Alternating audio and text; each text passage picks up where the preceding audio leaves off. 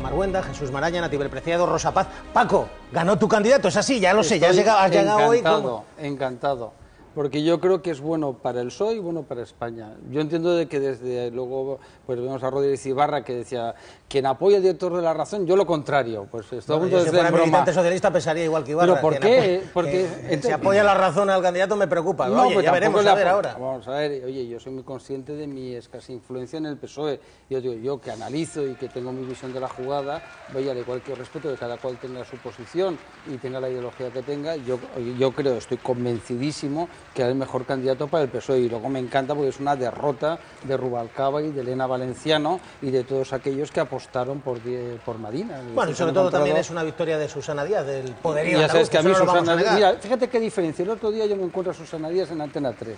¿Y sabes lo primero que hace? Fíjate qué diferencia con esta mentalidad de algunos socialistas eh, carcas, ¿no? Y me dice, oye, Paco, muchas gracias por lo que dijiste en Al Rojo Vivo y el artículo que escribiste defendiéndome. Pues ¿por qué? Pues porque ella considera que soy un periodista que tengo mi opinión. Paco, para ti, buen resultado el de las primarias, el Partido Magnífico resultado. Y yo si fuera Rajoy me preocuparía, porque llega un, soplo de aire fresco. Jesús Maraña, Infolibre, ¿buen resultado? Bueno, eh, yo creo que es una primera vuelta, ¿no? Una especie de primera vuelta en el PSOE. Eh, me parece que lo mejor que ha tenido es la participación, pues claro, los resultados siempre hay que analizarlos dependiendo de las expectativas creadas. Como el mayor temor que tenían dentro era que hubiera una escasísima participación, lo cual hubiera quitado legitimidad al proceso, el hecho de que haya participado un 65% pues es, eh, bueno, pues A mí me parece que hay que decir que es un exitazo, un exitazo, es decir, los militantes socialistas ayer dijeron nos interesa lo que está pasando en el PSOE y se mojaron y fueron a votar. Eso, yo creo que es lo más importante en términos, mm, digo, democráticos, si se quiere definir así. No, es el primer partido que hace un proceso de estos, ¿eh? hay precedentes en la izquierda, en ECU, etcétera, pero es importante que uno de los dos grandes partidos, el PSOE, haya entrado en esta vía mucho más directa y de participación democrática. Dicho esto, yo creo que en los próximos meses habrá que despejar una incógnita, que es quién ha ganado o quién ha perdido más.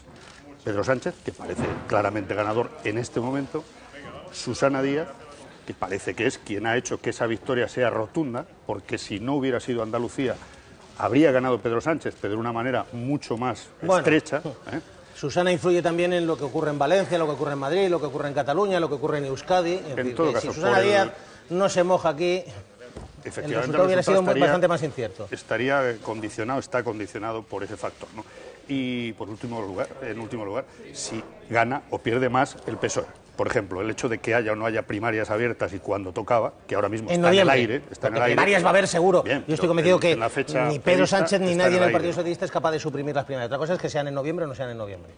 Eh, os pido un titular muy rápido porque tenemos novedades sobre Jaume Matas y su ingreso en prisión el que fue ministro de José María Aznar, el que fue presidente del Partido Popular en Baleares y presidente de la Comunidad Autónoma, a punto de entrar en prisión y tenemos novedades. Rosa Paz, un primer titular sobre el resultado de las que primarias El éxito de la participación es lo que le da legitimidad y autoridad al, al secretario general elegido, a Pedro Sánchez, y le da legitimidad para liderar el partido y para quitarse algunas de las tutelas que ha tenido en todo este proceso o que parecía que tenía, incluso la de Paco, la de Paco Maruenda, es decir, la de la derecha. Lo digo porque el PP no se ha cortado un pelo en decir todo el tiempo cuál era su favorito y decir que este era su favorito, que a mí me parece que no tenía por qué haber interferido en un proceso interno del PSOE. Yo no soy el portavoz del PP. No, no, no, si no lo digo por ti, lo digo por el PP. El PP. El PP. He dicho, entre otros, Paco Maruenda y luego he dicho el PP y he separado, Paco. O sea, que no, no te estaba vinculando directamente. Además, hay muchos PP, ya lo sabes. en, cualquier caso, eh, a mí me parece que él tiene que hacer una ejecutiva de integración, tiene que contar con Andalucía, pero no puede ponerse al servicio de Susana Díaz.